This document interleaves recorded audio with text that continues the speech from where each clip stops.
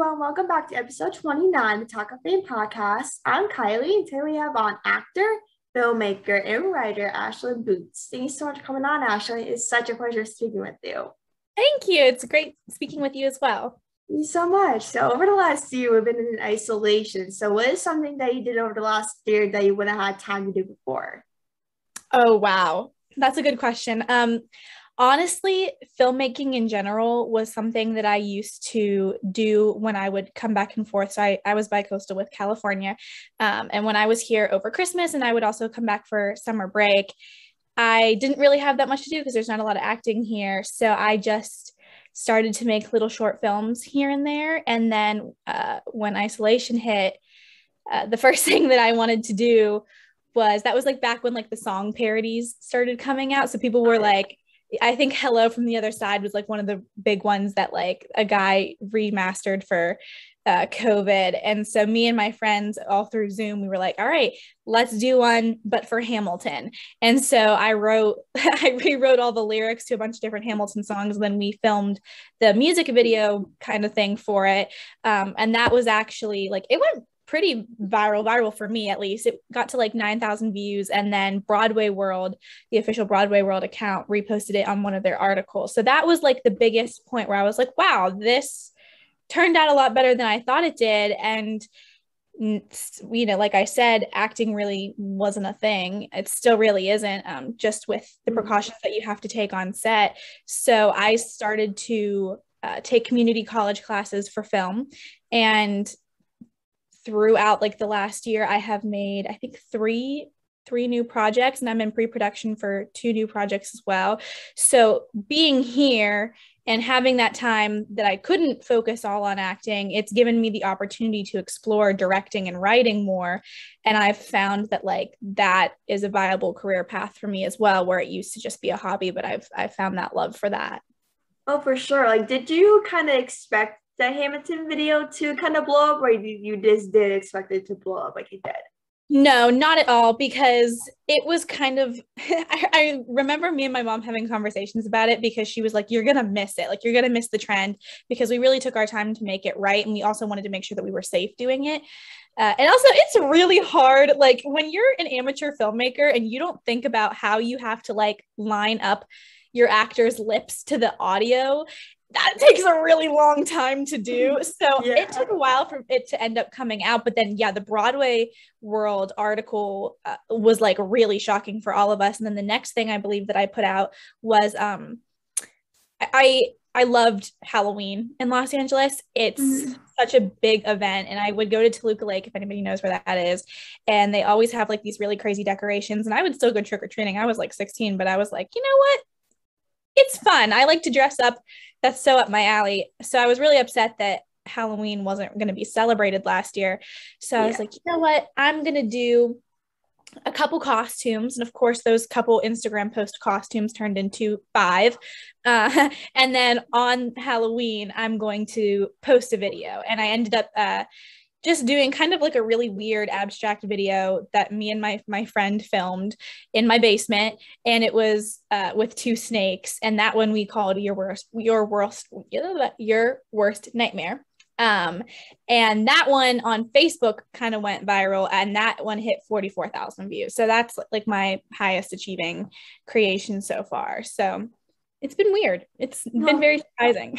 oh, for sure. So as like we were kind of talking about before we started, we are from like small town Pennsylvania. We're both mm-hmm. like you're from the west side, I'm from the east side. And like mostly in Pennsylvania, it's all kind of farmland for Pennsylvania. But like, how was it kind of difficult for you to kind of start out as acting living in Pennsylvania? Because Pennsylvania is not really known for being like acting and all that. No, I live like 40 miles north of Pittsburgh. So I live in a really small uh, conservative town. It's not really a thing to be an actor here. You figure Pittsburgh's uh, economy has really gone downhill after the uh, steel mills, mills left. So yeah. it's kind of left a lot of my community in poverty. So that's just not something that people prioritize here. The arts is not something that's like holds any weight whatsoever. So uh, as a child, I at three, I told my mother I didn't want to watch Barney anymore. I said to her, the actors in Barney are terrible. I w- only want to watch the Phantom of the Opera instead. So I was really into musicals, especially the Phantom. And then my preschool teacher pulled my mother aside and she was like, just so you know, Ashlyn's directing the whole class in Phantom of the Opera. They this is the first year that my kids haven't played house because Ashlyn's putting on the Phantom of the Opera in preschool. So I think my parents at that point kind of had some inclination that was like, oh crap, like she isn't she isn't a normal toddler whatsoever. So they put me into dance classes at a performing arts school here called Lincoln Park, which is a really like great, well-established school. And after only a couple classes with them, my the teachers pulled my parents aside and they were like, if we're not challenging Ashlyn, like just let us know. And I was probably six at this time. And they looked at us and they looked at the teachers and were like, Ashlyn, like you talking about our daughter? Because I don't know, like, and they were like, oh yeah. So at that point, I um got further into just like the community theater that was offered around me. Um, mm-hmm. We drive a little bit closer to Pittsburgh for that. I was really lucky to uh, have at least something here. Like the New Castle Playhouse has uh, this traveling group called the NCP Mini Stars. So I was a part of that. Um, and then my local theater that I was at is called JBT Jeter Backyard Theater. And they had a traveling team where we would go to um, Musical Theater International's Junior Theater Festival in Atlanta, and we got to compete there. So I was really at, at a young age, really doing a lot of musical theater. And then at about nine, or I think about eight, um, I Musical Theater International asked me to go to New York to help workshop the Elf Junior musical. So that was kind of when my parents decided, like, okay, we're going to let her do this full time. And that's something that I had been asking for for a really long time. So thankfully, I had family that lived in New York. They let me stay with them. My mother would come and I would be going from Pittsburgh to New York to audition for shows. Uh, and I did that for a couple years. I ended up uh, Musical Theater International gave JBT the pilot productions of the Magic Treehouse series. There's two, um, the Magic Treehouse books, and I was lucky enough to be Annie. So that was awesome. But it was around 10 where I had just booked an off Broadway show, but I had been doing some of the acting camps that are offered here in Pittsburgh. And uh, an acting teacher, Trisha Simmons, came over to my mother and she was like, Hey, I really think it would be worthwhile if you would let Ashlyn go out to LA for pilot season. It would just give her the opportunity to do that so after a lot of discussion with my parents my um, they let me go and their thought was kind of like well we're to let her go to california for three months with her grandma and it'll be like a really great like vacation like once in a lifetime thing and then she'll come home and we'll just keep doing you know the theater thing in in new york um, and then I did it and I was like, yeah, no, this is this is where I want to be. I kind of boiled it down to the fact that like do I want to do the same show every day for a year? Or do I want to do the same show, different episode every week for three years, four years, however many seasons you get? And that was kind of where my heart led me to. But I really think for anybody that wants to be an actor, like take advantage of what you can find in your hometown because I'm from like the rough of the rough. You know what I mean? Like there's nothing here as far as uh, theater or acting. So just take whatever you can get. Oh, for sure. Like where I am, I'm from like Scranton, Pennsylvania, right. into Custer, Scranton, Wilkes-Barre, and there's nothing here where I am. There's nothing. And no. like when I, I went to California about like four times over the last couple of years. I went before COVID hit, and like there's something about California that I love about it. I never want to leave, and so like I always talk to our parents. I bring up every once in a while. I'm like, it's okay if I can move to California when I'm older. Mm-hmm. You guys know how much I love California and not everything the arts and that's something I love about it. And it has an energy to it. It definitely yeah. has like an energy where you're like, ah, yes, this this yeah. feels right. Yeah, for sure. And they're like, Kylie, that's across the country where we are. And you can't be away from family because your family's around around us a couple minutes away. And you lost it because they always want to be around family. I'm like, I can grow I can try it. Like there's not pressure, but yeah, I know. don't know. I think that you need to do what makes you happy. And that's like the biggest thing that I've had so many friends that want to be actors for the wrong reason or are really good at it and really are talented, but then decide that they want to go for the safer option. And I had one of my friends who was like a brilliant filmmaker and she's going to go be a lawyer. And that's great if that's her passion, but like make sure that you're not pushing aside your happiness for the happiness of your family because at the end of the day, you can always come home and visit them, but you got to make sure you're happy, you know? Yeah, for sure. Exactly. Because Pennsylvania, like where we are from, like both of us are from, like there's nothing here. Like it's terrible. like, uh, most of Pennsylvania is farm farmland, and so oh, like yeah. can't do anything. Like farmland and the Amish. No hate to the Amish, but it's it's that's pretty much the only thing that's here. Yeah, the only thing. So if if you want to come to Pennsylvania, I kind of don't recommend coming to Pennsylvania. There's really nothing here, depending where you are. But like uh, like there's really nothing here, and that's why I kind of love traveling all over the place. Like mm-hmm. if it's like California, Florida, like anywhere, I just want to be like I don't want to be in the city anymore. This atmosphere, I hate it. Like I don't want to be here anymore. But like, there's always something about Pennsylvania that's cool. But like, you know, just I think if you've never experienced, if you grew up in a city and you've never experienced this kind of like land, that's great. But I also, it's not like where um we're not cowboy country either. You know what I mean? We don't have yeah. like we don't have like nice like Arizona like western land to us. Yeah. We're just kind of like m- the best way I can describe it is like mushy, like slushy, the ice, like the melted ice on the road, like slush and just like mm. cows. And that's really it, it's no fancy like cowboy situation or even the cities are kind of small. It's it's just Pennsylvania. It's like Ohio. You know what I mean? There's yeah. no pizzazz to it.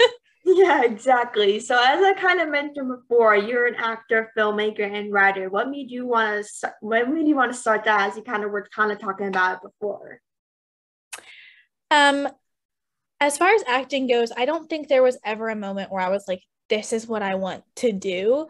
Um, it was just something that like I was so young that I I just knew. You know what I mean? Like yeah. I, there was a lot of talks with my family and thankfully i was blessed with a really supportive family that allows me to do this. And the the main conversation that really stuck in my head was when they said to me like well they don't they're not in the acting world at all. They're all athletic and baseball and you know pilots and doctors and that's kind of their thing. Yeah same um, here.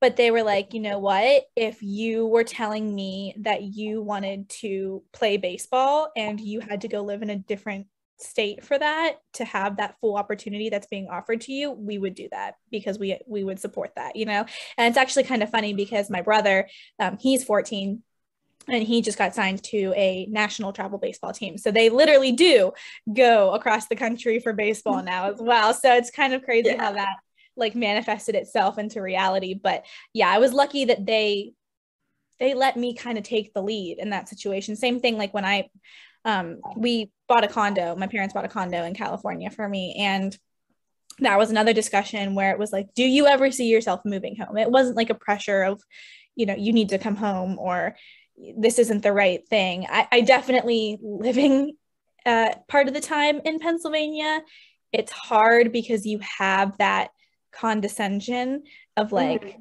Well when are you going to be when is this going to be over and when are you going to get a real job like are you you're going to go to school to be like a nurse or something right you know what yeah. i mean like eh, it's awful it's awful um and you get it from all sides and it's partially just because they haven't really been exposed to the culture of it but um I've been lucky that my parents have let me lead the way. So as far as how I got into acting, like I said before, I really think Phantom of the Opera was my first like creative awakening because yeah.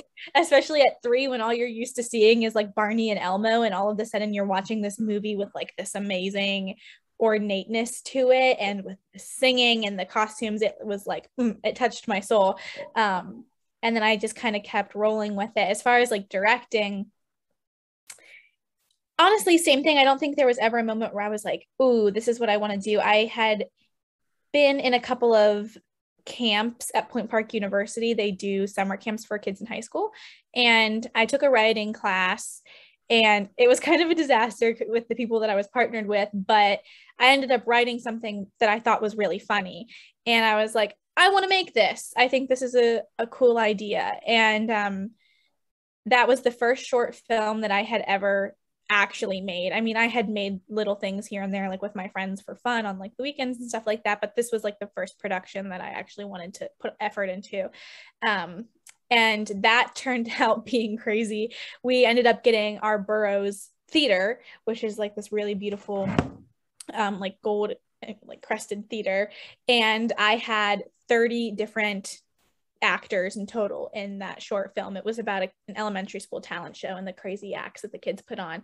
Um, and after that day, I was like, wow, that was that was that was really fun. And I had ended up doing um another camp the year later at Point Park, and that was more of a directing camp. And I bonded really quickly with this girl Ariel, and we worked together. Then moving forward on a lot of the projects, and there's there's never been in my whole career like a moment of like yes, but like this is what I think I want to do.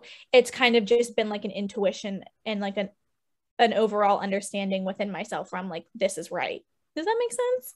yeah. yeah. So like I like grew up like the same way you did. I grew up in like a sports kind of family. Everyone plays sports. I grew up playing sports, but playing sports was never kind of thing I want to do. I just did it to kind of have some activities just to do something.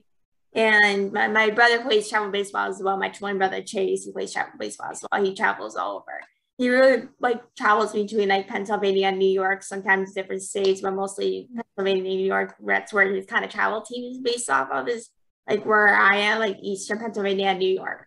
And yeah. basically travel. And like when I started my podcast over quarantine, I would I never pictured myself doing this. Like I never pictured myself being having a podcast, basically having this as a job. I do a constant I never pictured myself doing this. And people actually ask me a, a lot. And they're like, Kylie, do you picture yourself doing this? Like, do you think you will go to college for this? Since you're only 15 years old, you picture yourself doing this? I'm like, I don't know if I actually want to do this. In like, I know I have to come up to my family's expectations. These my cousins do journalism for a local news station. They're like, do you want to be what they want to be? Like they have, like they're doing. Mm-hmm. And they can be like your Aunt Ranny, she's really good at it, and your cousin John. I'm like, I don't know if that's something I kind of want to live up to. That might be something else And in industry. Journalism might might not be something I actually kind of want to do. It it's might be like a little kind of fun hobby. Like I, yeah. but like there's something kind of people kind of live up to your expectations a little bit because I was always a shy, anxiety, depressed girl growing up, and I never oh. this. So they're always my family's always like, Kylie, how you doing a podcast if you're shy as heck? Like, how are you doing this? So like I'm like I'm girl I'm growing up like 15 years old I can't be shy anymore I, I got like no. a little girl that doesn't like to talk to people like I'm not that person anymore. Like this time goes flies by for sure really. Oh, it does. I just think like you'll figure it out. You'll know. I'm lucky to have, I say it all the time, I'm lucky to have known since I was literally in diapers that the career path I wanted to do. I can't even imagine like having to worry about that. yeah. But I think you'll like when when you find the right thing, you'll know it feels right. Yeah, for sure. Like it's something like there's many options I have and people like I always kind of lived up to my brother's expectations. People always carried my brother, and I was like this little girl sitting here at on the couch, being like, "What? My is my not time not coming yet?" Like, like, like, at, like when I was a little kid, I never knew what I wanted to be. I always like I had options, it's never what I wanted to be. Mm-hmm. I always kind of thought I'd be like a singer, actor, some type of way because I always loved sing, dance, any type of way. And then now, like when I tried acting, I'm like, oh, this is not my thing. Oh. Yeah, it's hard. yeah. Harder than I expected. But do you have anyone that you look up to in the industry as an actor, filmmaker, and a writer, or just kind of in general? Do you? Oh, that's a good question. Um, it's hard because I feel like no one should idolize anyone completely because you don't you know what i mean like if i if i had to pick a career if you would have asked me this a couple years ago i would have said anne hathaway um recently though some of her parts haven't been the, the greatest. Um i really admire mindy kaling for how she has been able to work as a writer director and actor. I mean the mindy project is just like a perfect like example of that. Um mm-hmm. Tina Fey, all of the women that have been able to do to do that. Because that's one of the things that I have I have instances where I was directing my last short film Ideas of Evil and I was a pretty main character in, in that but I made sure to shoot around myself. It all took place in a lecture hall. Um, and I I didn't speak until the very end. So that opportunity gave me the chance to really focus and like take the step into just directing. Um, and I really, really was enjoying that. And um, then recently, there I just auditioned for Pride and Prejudice, and that experience, I, I walked away from my short film experience being like, that felt really good. I think I should just pursue being a director.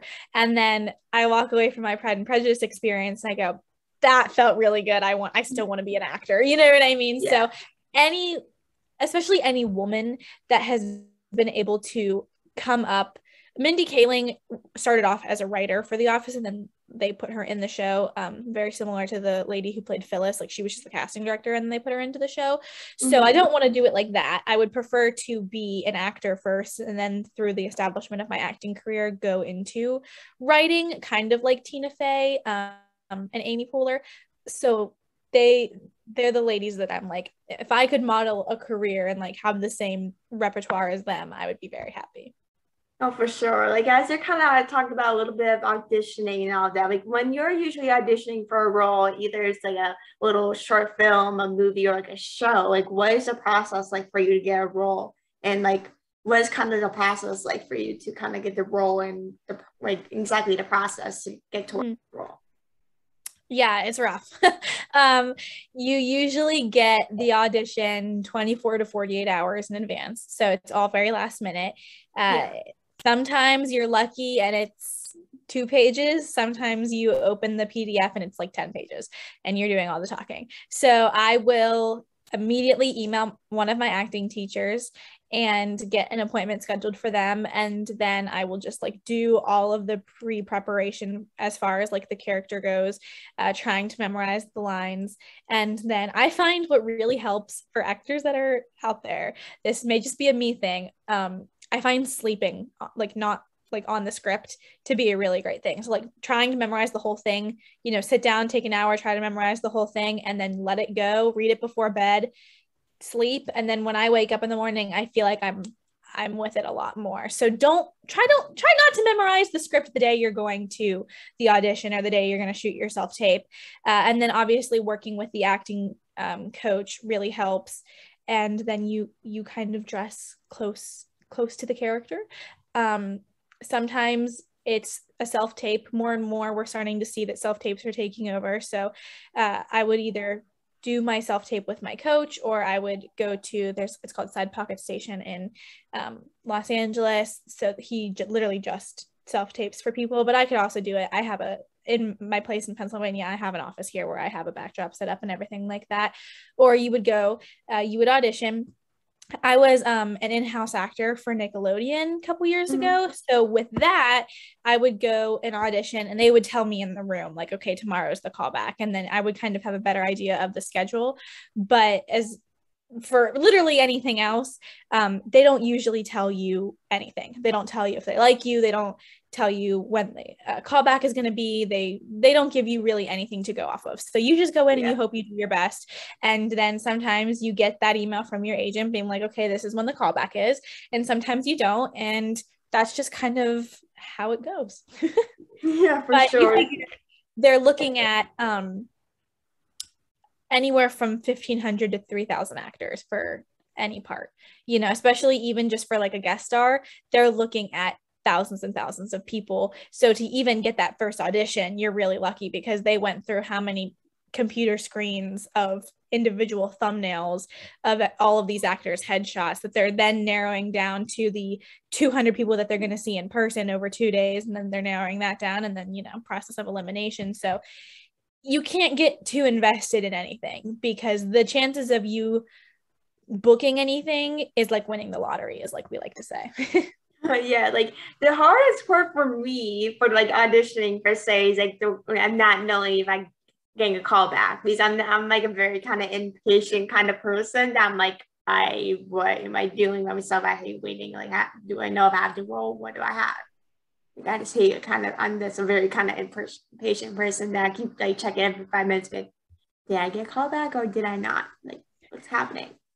Yeah, it's hard, which is why like community theater is really great if you are like an impatient person because you have that just like small scale community but like anything bigger than that it you really just have to like learn to not like to care but to not care you know what i mean obviously yeah. give all give your all of your effort into that audition but then as soon as you step out of that room you have to learn to let it go especially like if you get down and you're pinned for the final two and it doesn't end up being you it's hurts. It's soul crushing because you get so excited. I remember there was um I worked recurring on the Nickelodeon show School of Rock, and they would always call and they'd be like, "Okay, so we want you here for this day, but you know, we, we want you, but give us like two days to run it through the execs to make sure."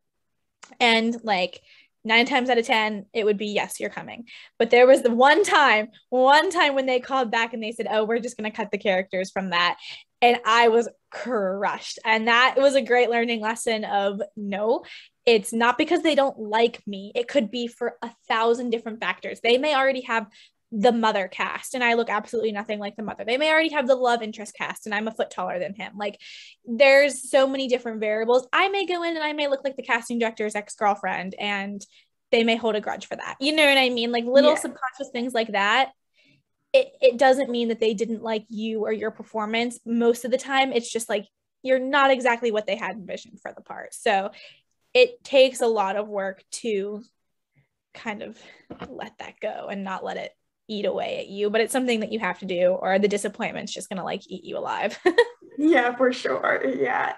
So as we're kind of talking about school rock you portrayed regina on nickelodeon series school rock. What was that experience like for you to do that? It was awesome. It was like the best set experience ever. I remember um I was pretty favored with the casting director, Susanna, for that. Um, and I had that was right around the time where I was also the in-house actor. So I was like auditioning every other every week every other day basically for a different show so when i got this one i walked into the casting room and i just remember sitting there with my grandmother and looking around and none of the girls looked anything remotely like me for this part and i said to my grandmother like this doesn't look good. this doesn't look good for me. And um, she, I remember her saying, Yeah, you have about a snowball's chance in hell for this part.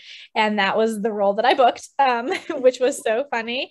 And um, I was, I think I was around 11 at the time, and that was the first season. So I got to hang out with the cast pretty, pretty much like that whole week. And um, then I was brought back for every every other season after that. So it was a really special experience to have that be my first job and a lot of these other kids' first jobs, like professionally recurring on a show. And it, didn't start out as a recurring role, it was only for a guest star. And then I was lucky enough for them to be like, hey, we liked you, like, we're gonna bring you on now. Um, but it was it was always just a good time. Like I have nothing but nice things to say about the company, about the people. Um, Nickelodeon definitely like takes care of their actors and it was just overall like a positive experience. Oh, for sure. So you're kind of like as we're kind of talking about acting, filmmaking, and writer, and all that. Like when um, you're also a filmmaker, as we kind of talked about before. Like, what is it like for you to work behind the scenes instead of kind of working in front of the camera, usually acting?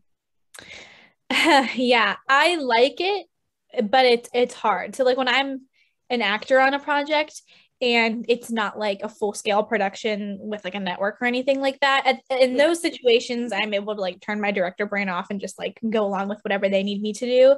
Um, but when I'm an actor and like a student film or like a short film or something where like I can closely relate more to the to the producers and to the director a lot of times like I'll be like well what if we do it like this but it's something that I have to turn my brain off for that but mm-hmm. um as far as like being a filmmaker and stepping more into that position it's been really awesome I work pretty much I'm like pretty much the entire production company. I do a lot of the pre productions. I have um, two partners, Olivia and Peyton, that help me out a ton. Peyton does a lot of the more um, camera work, which is something that I know that I need to improve on. Like, I need to work with my technical side and my skills with the camera.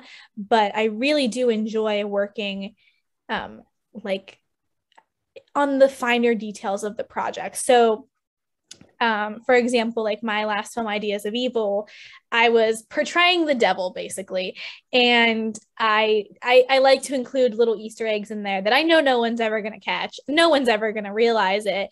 But for example, like I wore three fingers on each hand so that I had six rings on in total, uh, little things like that, right? So then, um, one of my actors in in that um, film. Uh, in a film, one of my films before that, she had played Eve from Adam and Eve. And um, in this film, we were talking basically the whole film is a lecture set around the ideas of evil, how each different religion and group of people and cultures has an idea of the devil and evil, um, like story, something like that, right? Mm-hmm. So when um, my professor was covering Adam and Eve, we cut to her sitting there because she was my Eve in a previous project. So I really like doing like those stupid little details that only I'm going to know about that are sentimental to me. And I like, I really like costuming. I, but um, it's just something that's been easy to step into. And it gives you like a thrill, you know what I mean? And yeah. it's really nice too because as an actor, you read so many different scripts so many different scripts. And I feel like I have a good idea of like what's been done a lot and what mm-hmm. a lot of people go after. And it's also taught me a lot about dialogue and how cringy dialogue can be especially if it's just you writing it. So something that i always say to my actors which i think that more directors should do um, is i'm not tied to this dialogue to your line. So if this is not how you would say it change it make it like you know make the point still come across but change it into how you think you would say it so that it's natural. You know what i mean? Because i think a lot of people have really great ideas and the execution is poor. And one of those big things like the two big things that i think can really make or break a project um, one of them being costumes and backdrop. So like if you when i do my five days of halloween costumes the costumes are important but if you're standing in front of your fireplace, no one's going to care. You know what I mean? Like you have to yeah. find a backdrop to, to fit. And then the other thing is dialogue because you can have an amazing story, but if you give your actors like robotic or uncomfortable dialogue, it's going to, it's not going to be a good result. Yeah, for sure. Like, what is the kind of hardest part for you when you're kind of like directing behind the scenes? Like, what is kind of the hardest part for you to do all those things kind of behind the scenes? Like, you could talk about before, like camera or just telling them what to do, like, or be like a director that's kind of yeah. I well personally i have a really hard time um with cameras. I i love how things turn out but i tend to be like you can take the camera. I'll just tell you how to use it. You know what i mean? Like i'll tell you what, what i want this to look like but you can figure out the mechanical stuff. I'm not a very technical person. Yeah, um, so like working with all of the little different settings on cameras to like make this this and this i recently just bought a gimbal like figuring out how to work the gimbal is like anxiety filling for me so mm-hmm. i usually have someone with me um, like I said, it's Peyton. I also Ariel was someone who would do that for me as well, where I just kind of give the camera to them, and I will do like some things, but um, I would prefer to simply just direct and say this is what this needs to look like, and have someone else camera operate. Um, so that's hard for me, but it's also kind of like an easy fix. As an 18 year old, I just turned 18 in November. Um, what's really been hard is trying to get people to understand and take me seriously. Yeah. Uh, it just doesn't when you're a kid and when you're young it just doesn't happen it's just not mm-hmm. something that especially in Pittsburgh people can see past so I try to avoid if I'm like emailing people for locations or something like that. I just try to avoid mentioning the fact that I'm um, a kid. Actually, when I casted the part for the professor in my last project, I put out um, like a casting call for it. And I made sure not to tell the actor that we ended up hiring how old I was until he got to set. And then, like, it came up naturally in conversation because people tend to underestimate you so much and it really can affect your project. Like, I, um, I need for my the project I'm I'm in pre-production for um I need like a kind of basement situation. I just did the mm-hmm. 48 hour film project and I had this uh, experience where I was told over and over and over again how this company wanted to rent out their basement. And I was like, okay, perfect. Like, let me contact them and be like, hey, I'm a returning customer. I was in this, you know, 48 hour film project. I want to rent out your basement. Um, unfortunately, I made the mistake of telling them how old I was, which I think is the main reason why I was told no, because I had been told over and over and over how much um, they wanted to rent this out to indie filmmakers. So that and then like obviously you run into um I do it to myself. Like I only want to make period pieces for some reason. I mm-hmm. I I would not saying that I wouldn't want to make something in the present, but my ideas tend to be a little bit more period based um or yeah. or they're like ba- they could be based in the present but like something's weird about them. You know what I mean? Like mm-hmm. I I I find myself writing scripts where I'm like, I'm never going to get this location. Why am I doing this to myself? You know what I mean? Like, I'm never going to be able to get, like, for next year's Halloween video, I'm like, I'm never going to be able to get a 14th century torture chamber, but here I am writing about it. You know what I mean? And like, this is yeah. the project that I want to do. So I feel like that has been a big learning lesson of like, okay, no, you have to pick projects that you can realistically pull off. And that was a big thing that I also learned back when I was in one of those summer camps, because a lot of my uh, fellow students chose to make films about like, oh, this guy is curing cancer, but also we're filming it and it's set in an empty dorm room and the actor is 17 mm. it just like doesn't make sense. You know what i mean? yeah. So you really have to make sure you can pull all those pieces together but that's been really great about getting into film if you know that's what you want to do and making as much as you can is like the most important thing because and obviously having connections as well because I ended up selling ideas of evil to Muse TV and now instead of saying oh you know I had a Broadway article pick this up and oh you know I had 44,000 views on this video I'm able to say yes I've done all of these things and like that's great you don't need to know how old I am, but I also have created a film that has been picked up by Amazon. You know what I mean? So having yeah. that establishment um, has really helped. But being 17, 18, man, people don't take you seriously at all. It's been it's been rough. yeah, for sure. Imagine being kind of like a 15 year old girl having her own podcast and people are like why uh, is a 15 year old having a podcast at her age? Like, I don't want to take her seriously. I'm going to say no to this. Like, I don't care. Yeah. I'm sure I'm preaching to the choir then. yeah. So, the final question for the interview is What is some advice for younger generations i'd like to be in, in, in the industry one day? Ooh.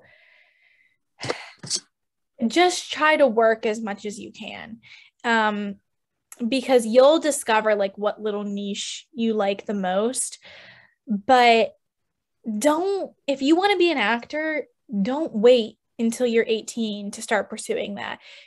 Put yourself in musical theater. If your parents aren't supportive, like find a way to have transportation, find a way to be in the industry that you want to be because experience and connections matter the most. If anything has, mm-hmm. if I've learned anything, it's that experience and connections matter the most because you need to have that training.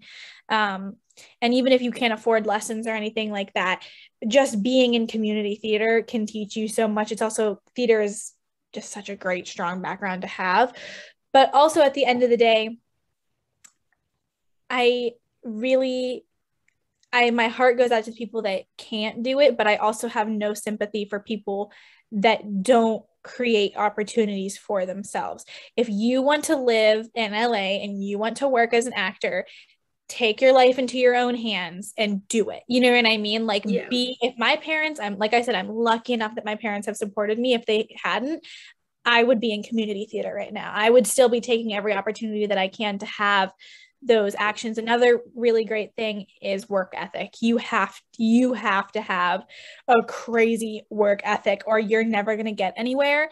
And that mm-hmm. also extends to and i know this isn't as realistic for people that are in like an everyday 9 to whatever 3 school but try to have a job any sort of after school job where you're making money because like realistically um let's say you go to college for theater. Great. Um your next step after that is not only being 30 40 50 100000 dollars in debt from school is to then move to a major location like atlanta new york la and start that opportunity. But guess what you're going to need for that? You're going to need a down payment on a apartment. You're going to need to furnish that apartment. Um, you're going to have to give your first and last month's worth of rent. It's expensive. And California is expensive. New York is yeah. expensive. So get a part time job. Um, save as much money as you can because you're going to get out there and then you're going to find that not only do you have all these living costs but now you have to have headshots. Headshots are $500 and now you have to sign up for all of these different acting sites that are $10 a month. And now you know you have to be in this this this and this class. And acting classes are expensive. You know what i mean? So mm-hmm. training is really important and headshots are really important and having a house is really important but all of it is expensive. And the more you can do, you know, you may feel like, oh, I can't do anything until I'm 18 and then I, I can go to college, or oh, I can't do anything until I'm 18 and then I can go live in LA. No, there are things that you can be doing while you're sitting, you know, in Western Pennsylvania or wherever you are in the country that's not an entertainment capital to prepare yourself for that. There's even like don't TikTok act. Don't don't try to take acting advice from TikTok. That's never yeah. going to work out. I feel like I see people doing that and I'm like, "Oh god." There there are um acting teachers that will put out like YouTube videos. Try to watch as many YouTube videos, try to watch as many movies as you can so that you know what people are talking about. Um there are books, like just try to educate yourself as much as possible, especially if you're not going to go to school for acting or for musical theater or for anything like that. But having like a solid savings account is like the best thing you can be doing because yeah. it's going to be rough. It is expensive, especially like if you don't have a car, you know, you have to think about or if you do have a car, are you going to ship your car? Are you going to drive your car? Um, it's a lot of pre planning, but also advice that I've heard other people say, but it's still hits home if you're not sure you want to do it, you probably don't want to. if you don't know, like with your whole being, that you want to be an actor and you sincerely cannot picture yourself doing anything else, then maybe it's not for you um, because it's hard and people are mean and you're going to get a lot of no's before you get one yes. And it's going to feel like it's a lot of work for no outcome, but you have to do it to know like I can't I cannot see myself literally doing anything else. You know what I mean? And yeah. if you want to go in it for like the money or for fame or for TikTok, like for clout, go to TikTok, go to YouTube, do something easier like that. Um, mm-hmm. Because that is something that has been really frustrating as a longtime actor where I feel like I've climbed my way to the top to be in these master classes, to do these great things. And then I'm sitting next to someone who turns to me and goes, Oh, I have 8 million followers on TikTok. That's how I got to be in this class. So if you don't want to be an actor, don't do it. But you have to know how rough it's going to be and still want to do it anyways, because it's about consistency. Yeah, for sure. Because acting is like such a, a really hard thing to do. People always say like, "Oh, I want to be an actor because I want a million followers. I want to be like Zendaya or Tom Holland or any of those A-listers like that." And like, no. and that's so like unrealistic that. too. Like, how many people are going to actually be able to be an A-list celebrity? For me, best case scenario is someone like my acting teacher who has had a really great career, has had a lot of opportunities, but she can go to the grocery store and no one's going to know who she is. You know what I mean? And but she is yeah. able to if I can sustain myself on the salary as as my on my salary as an actor, I've won in life. I've achieved what I I came to do. But do, do not go into it thinking you're going to be uh Marilyn Monroe because you're not. it's not. just like it's it's not gonna. Ha- you're like I said, you're winning the lottery if you book anything at all. So I think how lucky you have to be to really be famous. Yeah, I mean, if you want, if you want fame, go go to TikTok. Yeah, TikTok is like the best thing to go to. Is like there's so many people on the app, and you'll probably get fast. It's much faster and a little easier for you to do that, even if you're just pretending to do acting videos that you've seen or like singing or just no like dancing videos, whatever. It's really easier yeah. than acting.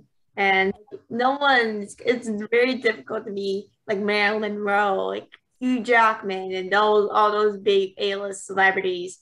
And I always told myself that I always wanted to be Marilyn Monroe and all those celebrities. and, and I'm telling myself now that when I was younger, I see now I think like I'm not going there. I I keep keep dreaming, but I'm not going there. Like that's a, I can keep sliding, work for it, but that's not gonna happen for a long time. So just get a little out of your head for now. Oh yeah, and it's so important to also like meditation is a really big thing because yeah, sure. yeah, it's easy to like do like comedy and stuff like that. You don't need that for, but there will be times where like you're not expecting. Oh, excuse my phone ringing um, there will be times when you're not expecting uh, to like there was a time when I was on set and I thought this was going to be like a real funny, you know, sort of skit. And like the director came over and was like, we need you to cry. And you will be caught off guard. And a lot of times I think people resort to like what I think the most coined term is like method acting, where mm you know, you're like, okay, I need to think of something traumatic that happened to me to do this. And then, sure, great, you can do it and it looks amazing and whatever. But then, cut, like, we're going to lunch and now you're sitting there on the floor crying and there's no way to pull yourself out of that. So, making sure that you act in a healthy like responsible way meditate before and after big emotional scenes because it's a really great like waiting place to kind of tell your body and your mind like okay this is what i'm doing. I'm about to go do this crazy thing and then i have this thing that's a nice medium space to get out of it. Um, and that's so so so important because you see people i think method acting can be really dangerous because you see people like portray the Joker and kind of go crazy and never fully recover from that. Yeah. So yeah, I totally agree with that. So like meditation is one of the best things to do. I do it sometimes on my mother, and like meditation is one of the biggest things on our society. Like it can help us in many ways, even if we're struggling anxiety, depression. It mm-hmm. years to do meditation. Like I used to say no all the time. Now I do it every once in a while, but now really. But like meditation is such a big role, even if you're having a stressful day or you're just nervous about situation. Like meditation is such a big role you should definitely do. Absolutely. So I just wanted to thank you so much for taking some time out of your day to come on. It was such a pleasure speaking with you. Thank you so much. And we'll speak soon for sure. Thank you so much for coming on. Of course. Thank you so much. Of course. It was nice speaking to you. Yes, nice meeting you too. Bye.